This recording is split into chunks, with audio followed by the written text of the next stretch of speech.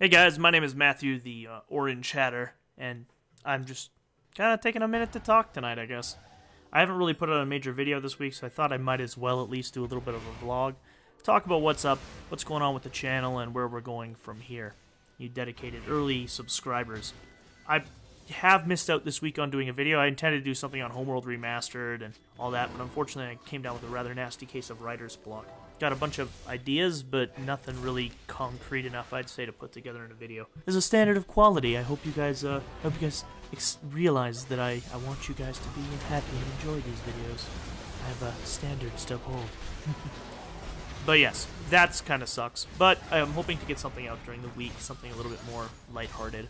Other than that, I've got some ideas for where we're going with the channel over the next couple of months. Some new shows, some new concepts, some new thoughts. Uh, we're lucky. We're kind of in the early phases of my channel existence. Uh, I've only been doing this for a little over a month, so I've got plenty of room to breathe and change my format uh, while I search out my voice, I guess would be a good way to put it. Uh, so I've got a couple of new pilot shows that I'm hoping to air sometime over the next month or two. Uh, the first one's kind of focused on MMORPGs and talking about various things that happen there. Um, I first one's going to be on Warlords of Draenor. Let's be real here, but I'm going to be talking about that because I play a substantial number of MMOs that I don't even really touch on on this channel or haven't yet. Uh, another one I'm working on is actually with a couple of other people. Uh, my love of MechWarrior Online is pretty clear at this point. I really enjoy that game, and I play it with a couple of friends uh, pretty often. So we're gonna form up a little wolf pack, do a show. We got all four of our perspectives, all four of our talking. It's gonna be uh, really kind of fun. Edited into kind of a battle report thingy. Uh, entertainment and of course good times to be had there.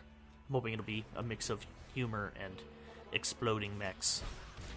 And the last one I've kind of been working on is a little bit different than before. Now I'm a big boss nerd, and I don't mean that as in like big, big guy or like boss thing in charge. I love boss fights in games. It's one of the reasons why I love things like World of Warcraft and Wildstar and, and Bayonetta.